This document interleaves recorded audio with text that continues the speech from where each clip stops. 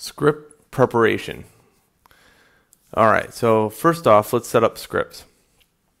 Number one, this is my side scroller directory. And basically, this is where I left you off in the assignment. And this is the scripts directory. And within scripts directory, I made a new folder called damage.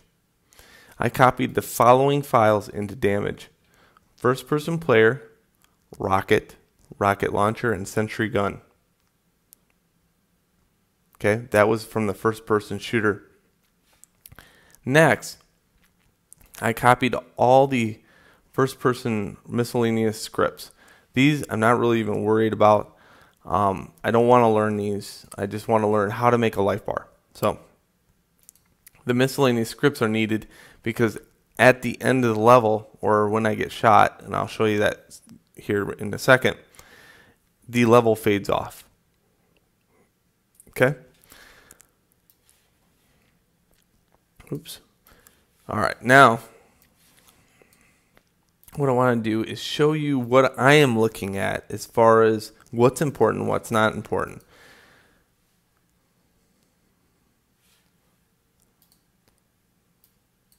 Okay, here's the first person player.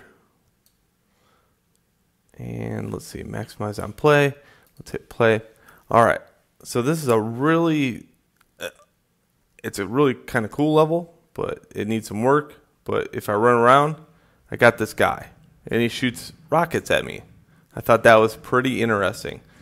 Uh, he can't aim very well. I don't think he's fast enough. I could probably dodge these all day long, but if he does hurt you, down in the, in the left-hand bottom of the screen, you'll see a life bar move. Okay?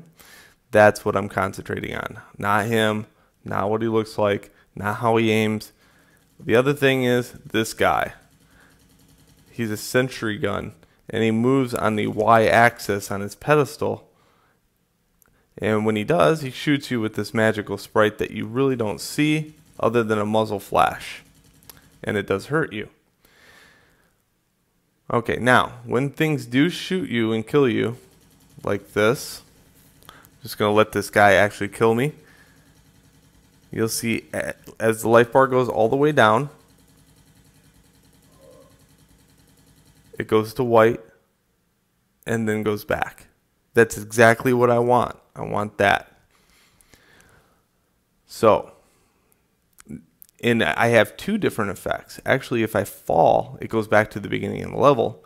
And if I die, based upon some asset in the game shooting me, it turns white. Two different effects, two different death sequence. All right, now, with my videos, I usually, what I do, I lower it down to the lowest common denominator and I, I kind of go in there and show you exactly what I delete. This one, I'm not going to do that. Um, I will show you what I did to learn um, what I did. Okay, and here is the sentry gun. He basically shoots you and you die. Okay, that's what I wanted. I wanted to be able to look at that and how it worked and not worry about any of the other stuff. Okay? So if I was to be the beginning student, that's what I would do first. Now I'm going to spoon feed you some information, but because I want to concentrate on scripts and be able to kind of look at scripts and rip scripts apart. Because what I don't like about this, this thing right here is what I have is a first person player that has the first person player script and you can see that it runs off maximum hit points, bullet GUIs, health GUIs, walk sounds, pain. Okay, so I'm saying that this script is doing a little bit too much. We're going to make a script that only deals with the health bar. Okay? That way I can make that a universal thing that I can use on all my games. So please have ready the uh, 2D side scroller. You should be able to open it. Let's see, open project, 2D with health. So this is where I left you with the assignment. And you should have this.